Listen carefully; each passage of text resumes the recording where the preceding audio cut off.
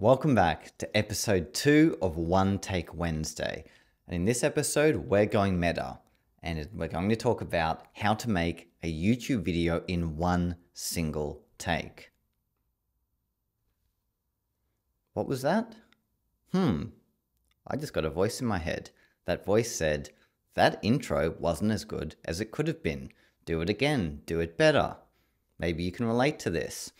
Well, this voice is the voice that's been in my head for a very long time across my 10 year YouTube journey. Do it again, it's not good enough. And that is something that totally sabotages new YouTubers. And when you're trying to build your confidence on camera, it can totally destroy your momentum. So, in this video, I want to talk about that and work through strategies for building your confidence on camera so you can make better videos and connect with your audience. There we go again. I made a mistake, but I just rolled through it. All right. So, my challenge for you is to try this.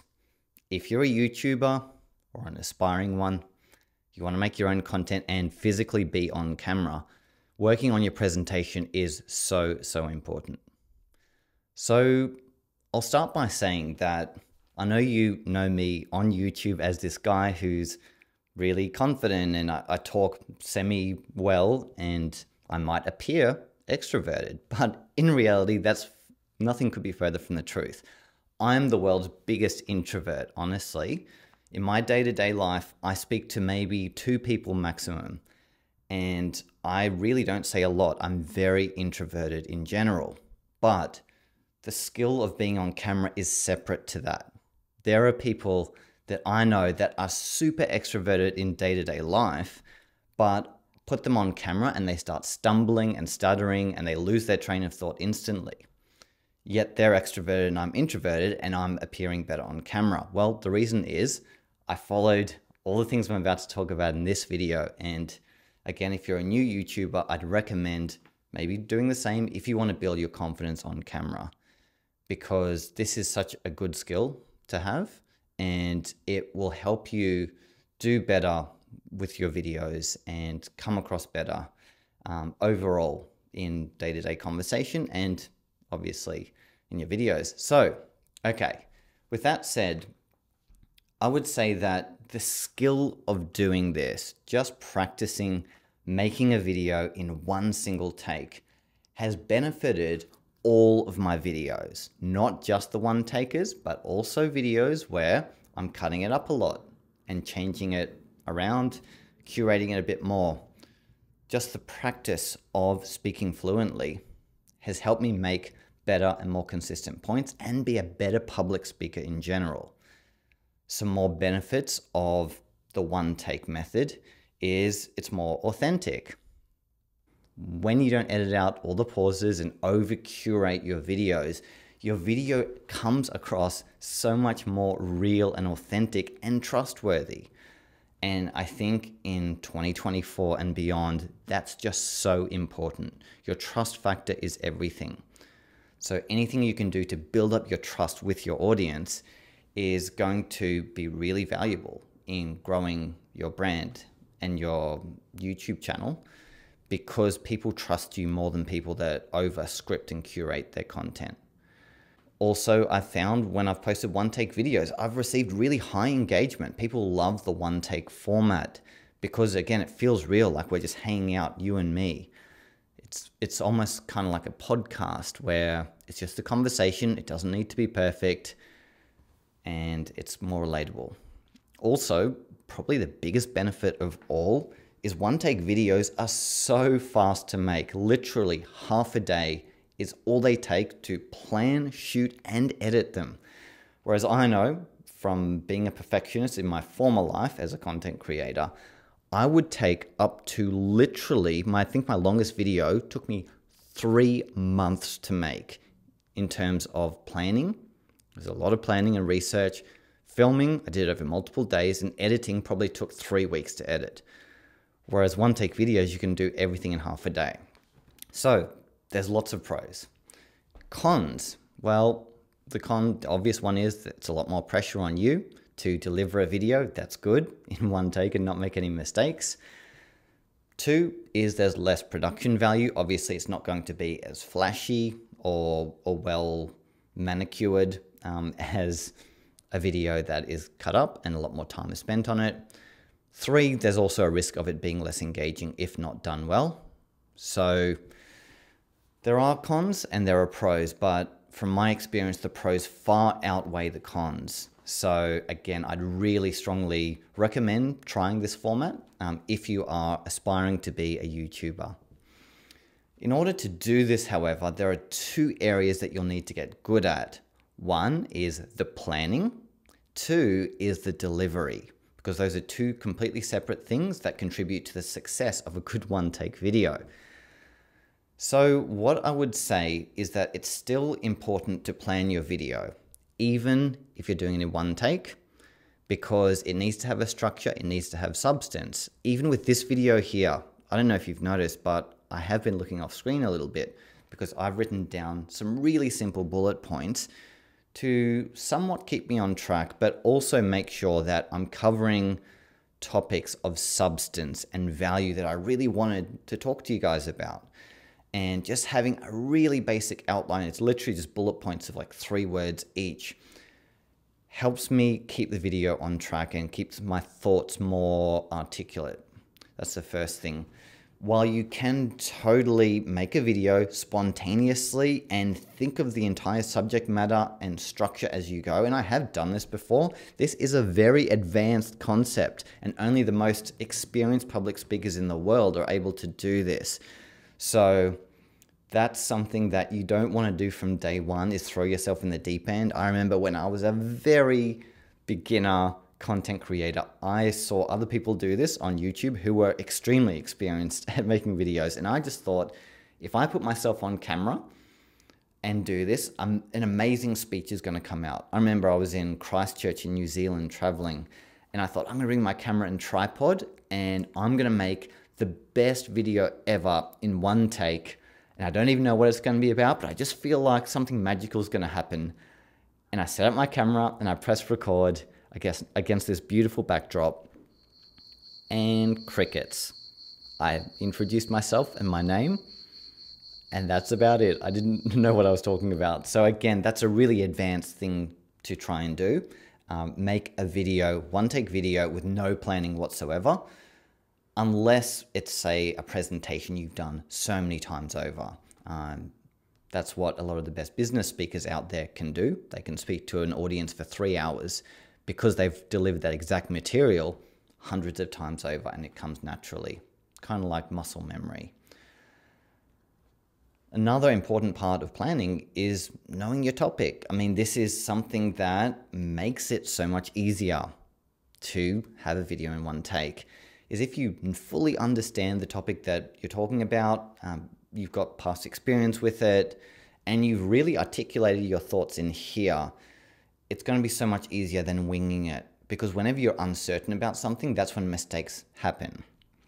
So, the more certainty you have around topics, so think about what are the topics you know the most about. Those are very likely the ones that are going to be the ones that would make for great take, one take videos. So, know your, knowing your topic is important. However, I'd also add that not every topic is friendly of having a one take video made, especially if it's, say, a demonstration based video, if you're teaching someone how to use a camera or something with a lot of nuances that need to be demonstrated, that's something that is better being curated because people's time is valuable, they get bored easily, and you don't want to waste time setting things up. Maybe your camera doesn't work or you have to go through a long process to do something simple. That's when it's better to curate it um, if there's any kind of demonstration involved. Um, that said, there's still heaps you can share directly in one take, in one video. Um, anything that kind of doesn't require that detailed demonstration. Because again, you don't want to bore your audience, but if you can speak passionately about a topic and you don't need too much production value or demonstration, then you know that's a good topic for a one take video like this one. Okay, next, let's move on to the delivery, the actual process of being in front of the camera and speaking words. It's scary. I know for sure. Like when I first started on YouTube, I came from being behind the camera. I was working as a videographer at the time, and I was used to being behind the camera, and I would see people on camera, and they were either really confident or really unconfident.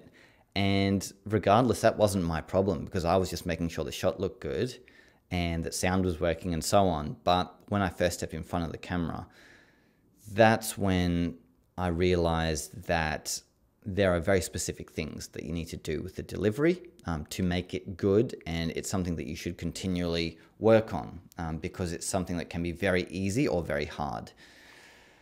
But with more practice comes better delivery. The first thing I would say about how to have a good delivery in your videos is being present in the moment. And this is why I hate teleprompters. When you're reading from a teleprompter, you're reading words that you wrote yesterday or a week ago, or just some generic script that you're not really present with. Um, and two things are going on when you're delivering a video there's what's going on in your mind and actually fully being present with what you're saying, and then there's the speaking of it.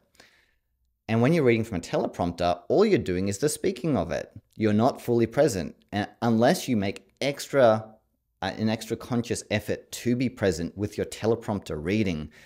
It's really hard to be present. And I find when you're present, that's when the best stuff comes out. The best performances, delivery, and even insights that you didn't originally have will come out.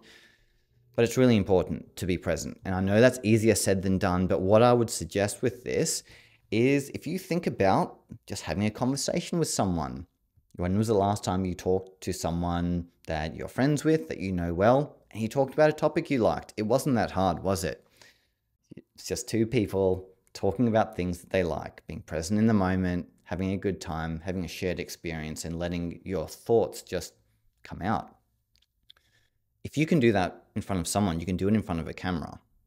It is harder when you are the only person, but you need to think of it like that. That's really important that you're present in the moment and thinking of it like you're having a conversation. It doesn't need to be perfect.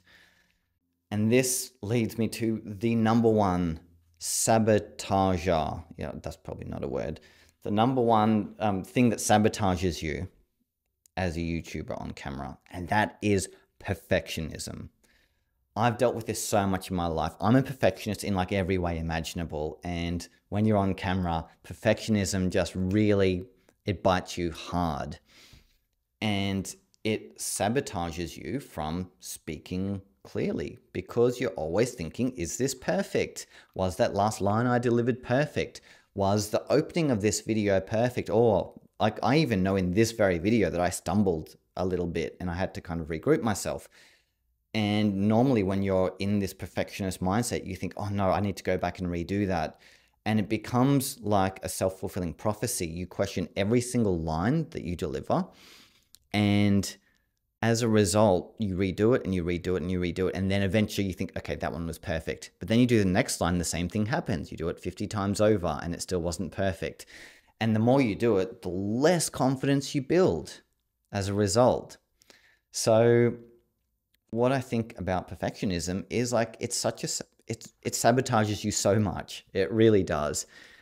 And it just makes it really hard. It's very energy draining and it's not sustainable. Like this whole one take process is enhanced by the fact that you're not sabotaging yourself from trying to hold yourself accountable to perfectionism.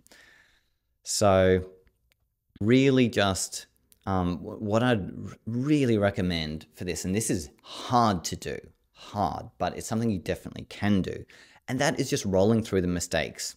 Again, like I did earlier in the video, you just got to roll through it, which is hard because you think, oh no, I, I could have done it better. But from just doing that, suddenly your next couple of words have so much more confidence and like it's like you're kind of going down a slope when when you do that but then you build it back up and you keep going. Whereas if you cut yourself off and you're down here, you kind of coast down here. And that sabotages your entire video and makes it take way longer than it needs to. And often having high confidence on camera from doing this, just rolling through it, results in even better performance and delivery than if you were constantly interrupting yourself. Just like in this video, I feel like I'm getting really passionate now.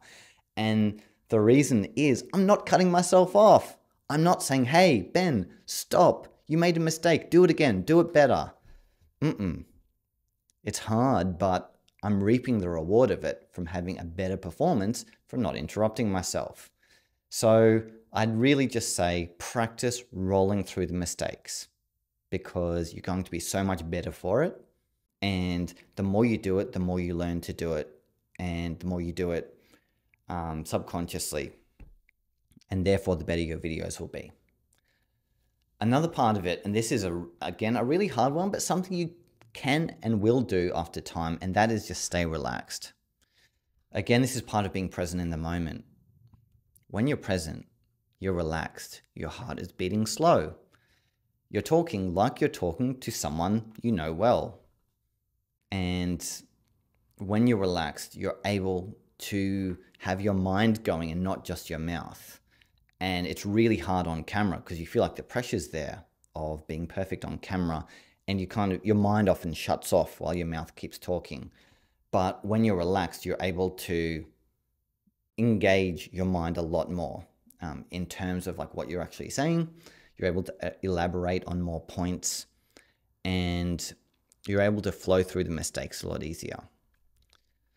So, yeah, I thought this would be an interesting topic to kind of explore.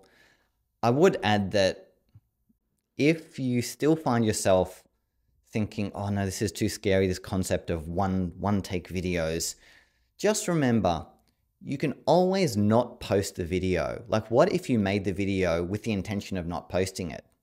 I bet you that would build your confidence in that video if you were literally to press record and start talking, knowing there's a 100% chance you're not going to post that video. I reckon your performance would be better than if you knew you were going to post the video. So maybe it's just a matter of tricking yourself and saying, I'm not going to post this video, and then record it, watch it back, see if it's any good. If it is, then you've got a great video. The final thing I'd add is another element of self sabotage that I even experience to this day. And that is still not feeling like my video is good enough once I've edited it and even uploaded it to YouTube unlisted. Even on my last one take Wednesday video, I thought, hmm, yeah, that was okay, but what if it backfires? What if people hate it or it gets crickets or it ruins the algorithm for my channel? Oh, should I post it or should I just leave it and and just move on to something else? This is something that happens to even experienced creators, but what I would say is just post it and see what happens. What's the worst that could happen? It gets zero views. So what? At least you tried it because trying is better than not trying because it could also do really well. And if you don't post it, you never know if it's going to do well. And the nature of YouTube and social media is it's ever evolving and moving so quickly that if your content is crap, it will just disappear to the bottom of people's feeds and they'll move on. And whatever video you post next, they'll they're more likely to get and watch in their feeds. So there's honestly very little downside to this. It's all about building your confidence, and sometimes you got to push yourself in the deep end. I even find myself self sabotaging with videos that I know are damn good videos, like a review of a camera or like just a really articulate video I've made. Part of me thinks, and, and I've got, I find myself with my mouse hovering over the post button on my YouTube page.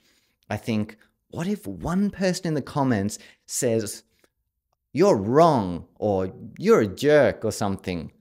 I don't want to get that. Like, I don't want someone to insult me or, or tell me I'm wrong. Unfortunately, this is something that happens with every single video, by the way, but the self sabotage thing is real and you think people are judging you. Unfortunately, that's what it is like on YouTube. That's the reality of it. But honestly, it doesn't happen as much as you would think unless your video is highly technically co covering lots of technical stuff um, and you might not have done your homework on the video. That's when people do that. Um, and there are people out there that are just going to be haters anyway. But um, more often than not, comments are overwhelmingly positive, and you're really doing it for those people who are there to get value from you and in, interact and engage with you. You're not there for the haters. So sometimes you just got to push yourself in the deep end and press post, even though you don't want to. Like, it's crazy. Sometimes I will spend weeks on a video, or I have spent weeks on a video, and still I've left my finger hovering over the mouse. Oh, should I post this or not? It's like, I've, that's weeks of my life right there. I'm willing to throw out at a moment's notice. It's kind of silly if you ask me, but um, it's real and it still happens. Even this video, I bet you I'm going to go through that exact same thing. oh, well, if you're watching this video, that's evidence that I didn't. Anyway, hope you enjoyed episode two of One Take Wednesday. Um, yeah, any thoughts on One Take videos? Hope you got value from it. Again, I'd really encourage you to try it because this builds confidence so much faster than over curating yourself does even if you don't post the video, it's fine, but you just got to practice getting momentum, getting on a roll, being present um, in the moment with your videos because the benefits far outweigh the cons. If you have any requests for future One Take Wednesday videos, let me know down below. And if you want to watch the last One Take Wednesday here, I talk about my YouTube channel, the direction of it, and my thoughts in general about being a YouTube creator right now. That's it. Peace out. Catch you next time.